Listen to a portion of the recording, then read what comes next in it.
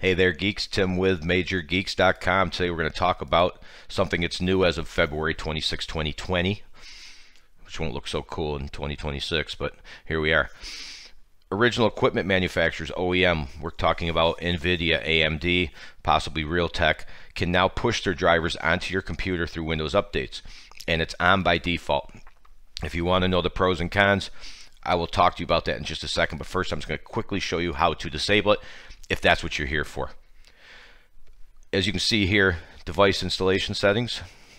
So press your Windows key plus S and start typing device installation settings. I've already done it once, so it's going to take you a little farther than I'm doing right here for it to show up. Just keep typing device installation settings until you see change device installation settings.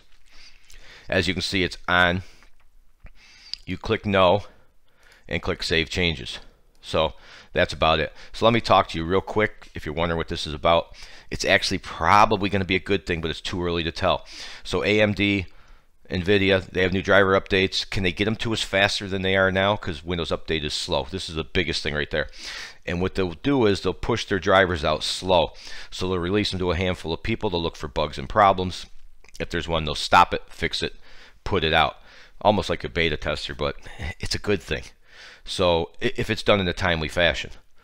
If you ask me, for the majority of people watching this, leave it alone. You don't need to change it. However, power users who are intentionally running older drivers for a reason, who prefer to update their video drivers, gamers, right when they come out, it, it's too early to tell. So let's see how it rolls. But if you're one of those people, go ahead and disable it. Just make sure, of course, that you actually do download your own drivers. Don't forget.